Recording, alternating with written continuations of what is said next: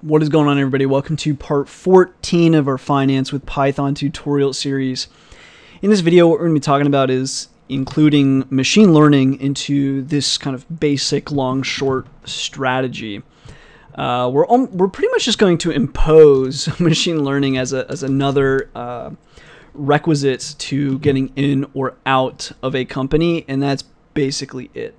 So first of all, let's go ahead and we need to import a few things.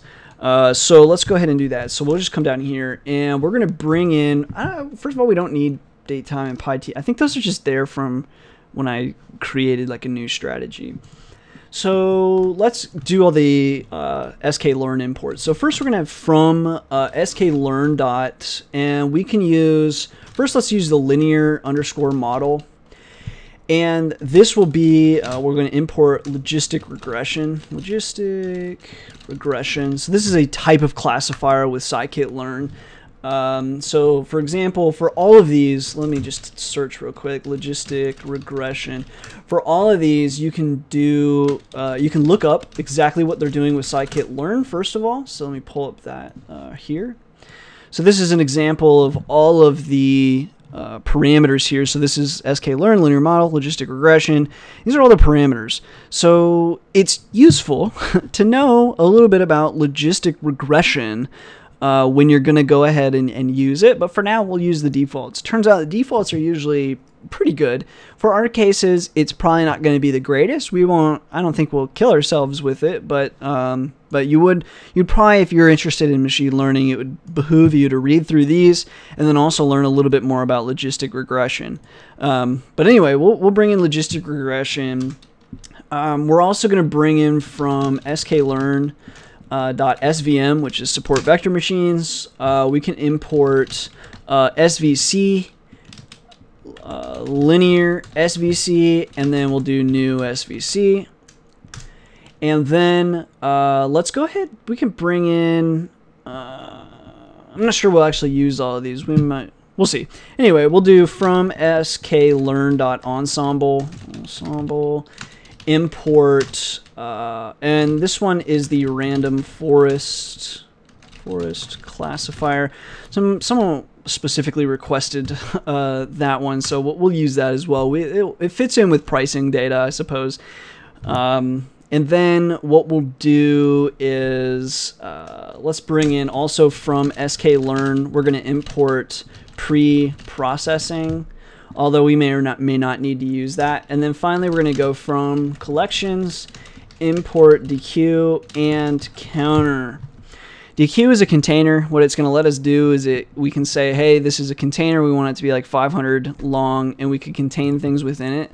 Although, actually, we probably don't even need deque for this one because we'll use history instead, and we'll go through history. So I think I'll just get rid of deque, uh, and this will be fine. So now what we're going to go ahead and do is we'll, we keep basically um, all of these ETFs that we're going to be into, and then let's add a couple more. So first we'll say context dot uh, histor historical underscore bars. And this will be like how many historical bars should we consider uh, at a time. And that'll make sense when we get into handle data. It'll make a little more sense. And then we're going to have context dot feature underscore window, and that will be equal to 10. So way machine learning works, especially with scikit-learn, but really across the board machine learning, for the most part, at least supervised machine learning, um, you're going to have features and labels. You've got features and then the labels that apply, and you train based on those features and labels. And then you have your current set of features, you feed it through, and you ask it to predict what it thinks the label is based on the training that it just did. So, um, so what we'll do is we'll go through the last 100 bars of data, basically. So the last 100 days of data, and we'll take slices of 10 day windows of data and for each slice, uh, what we're going to do is we'll train that slice and then we'll say, okay, what happened? Where did the price go from this point? If the price went up, that's great. That's a buy. If price fell, that's a sell as our label.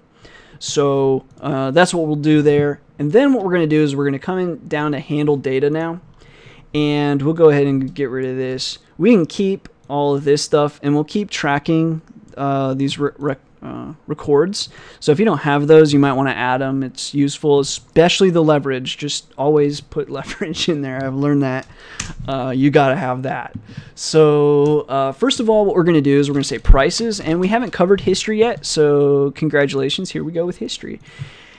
What history allows us to do is query uh, Quantopian for historical data. Now you can do close price, you can do uh, minute price, day price, and I think there's other ones. I can't remember what the other ones are, but minute and day.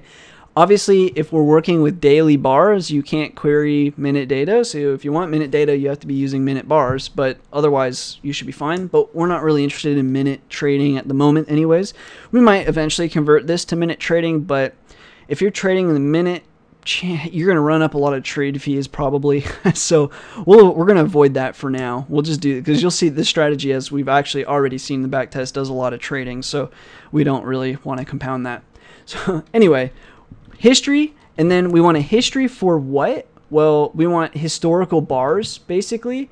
So we're going to say bar underscore count is going to be equal to context dot historical underscore bars so that's going to be the amount of bars of history that we want is going to be 100 bars. The frequency is another parameter, but for us, uh, we're interested in one day, so um, I'm pretty sure this is the default. You may or not even need to pass that. And then field, we're interested in price, so you could you could query for volume, open, high, low, close. So like say you're doing like a strategy that measures high minus low for volatility. Let's say you could query like that kind of stuff. So what this is going to do is for is every day it's going to run this right here and it's going to what this is going to do history returns the current price and then the previous x amount of bars minus one basically. So when we're doing a 100 we're doing the uh, bar count of 100 here. So what it's saying is today's price and then 99 prices ago it's going to store that into a data frame of prices.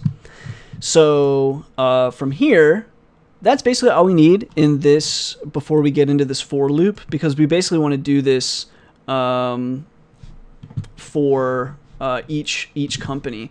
And so, and actually, so what we'll well, this should be fine because what it's going to do is, is it'll be prices, and it should return a pandas data frame that has columns for each of these ETFs. So uh, you could also put it in here I think, but I'm pretty sure it would still return a massive data frame, so that'd be a really waste of processing in this case.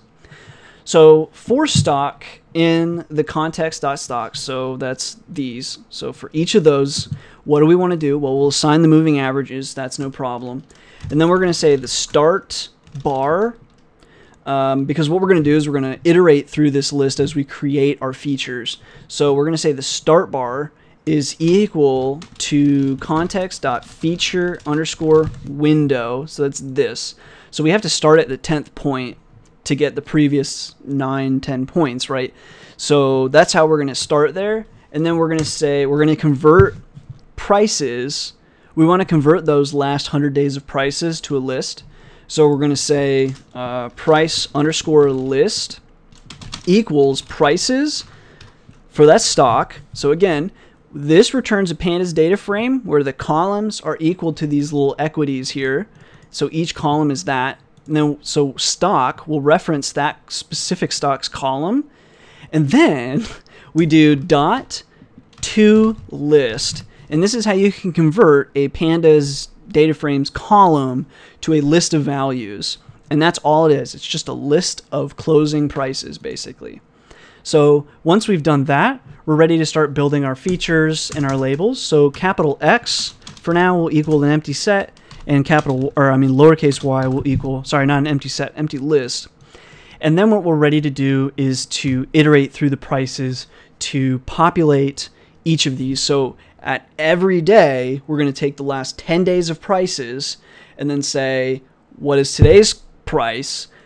Is it higher or lower than the previous price?